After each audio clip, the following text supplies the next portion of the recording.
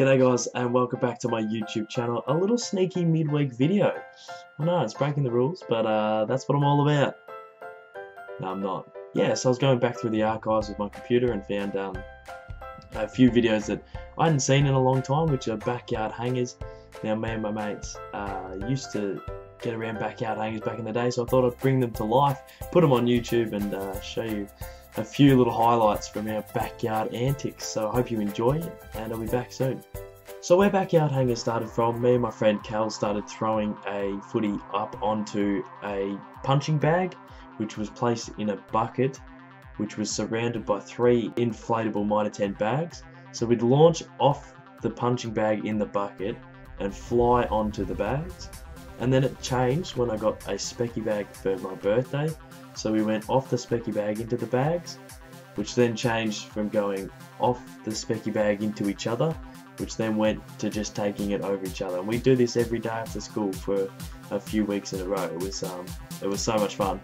I don't know how we didn't get injured more, but uh, yeah, the only two occasions where I got injured certainly were in these two next clips, where basically the way I land on the inflatable Mitre 10 uh, bag sort of changes the way my body falls and my heel on both occasions ends up touching the back of my shoulder which you can see here it just I, it's not a real comfortable thing to be honest.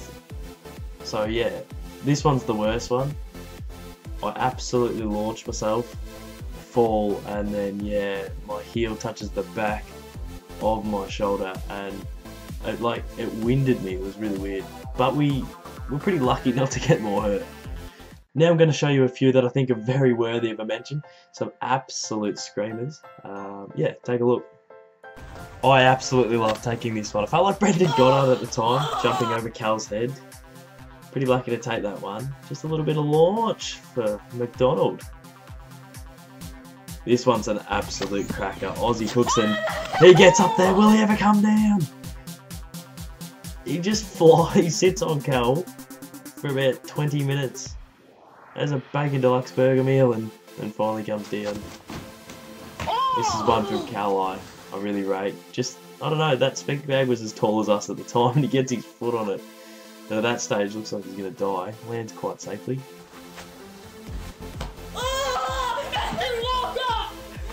Well, what a flog to say Andrew Walker on the way down, but I just, I felt like I was surfing Cal, so that was probably my highest one I've ever done, but in the backyard. Cookson again. I just look, look at him. Look at him throw his noggin at it. He absolutely smashed his head on the ground, but he just loves it. And then Van Gamp's dropping the mark of the century. Liam, his foot is on. Oh, I just can't believe how high he gets. Look at the height. He sits up there. That would have been an absolute screamer. Going through the archives, there was something that I wasn't quite impressed with, and it's a little bit cringy, so I thought I'd show you guys as well what 14, 15 year old Caden MacDonald uh, was like. This is gonna be alright. Oh, alright, and understand. That's cringy. that's uh, that's not on. But here is one of the biggest marks probably we ever took. Um, it was complete accident, and that's what makes it so good. And uh, yeah, here it is. So all afternoon we were absolutely throwing our bodies into these bags and uh, yeah, it was quite tiring. Get time after time, time after time, hoping for something bigger and better, and then all of a sudden, Cal throws his body at it, gets his perfect sit, and absolutely eats it.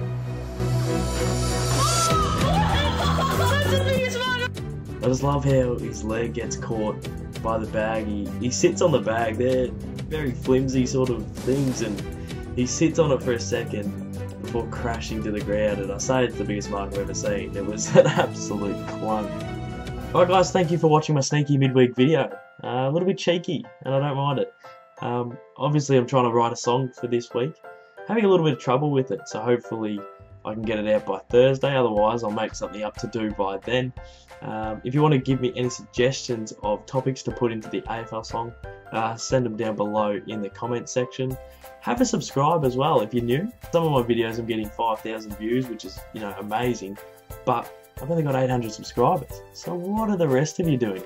Hop on board, we'll have a little bit of fun. Follow me on my socials. And yeah, I'll see you Thursday. Thanks for watching, guys. Have a good one.